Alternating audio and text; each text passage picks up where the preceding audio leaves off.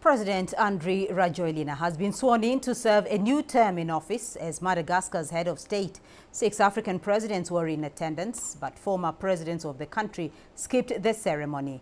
Rajoelina was declared winner after last month's presidential election.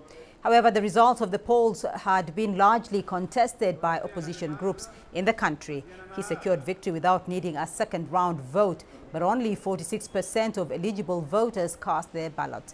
Near daily protests were held for weeks leading up to the polls, but were banned in the capital Antananarivo for five days ahead of the inauguration ceremony. Rajoelina first came to power in a 2009 coup. The re-elected president has promised to build a stronger, more uh, prosperous Madagascar.